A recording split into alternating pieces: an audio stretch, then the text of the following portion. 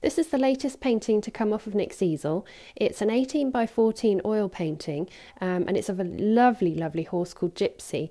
The whole scene is just beautiful. Um, it exudes warmth. The way that Nick has painted the background, uh, the colours of the grass, it's all very natural and like a, a nice um, summer's afternoon, I think. It's almost as though we're looking through a window into a field um, and Gypsy's just there looking at us. The portrait has been framed using the Chelsea frame, which is one of our favourite frames. If I get slightly closer, you should be able to see it in more detail. Um, and the colour works really well with the background.